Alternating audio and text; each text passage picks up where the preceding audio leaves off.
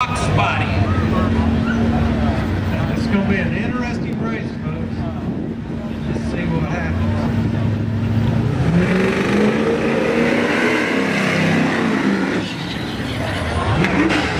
I have no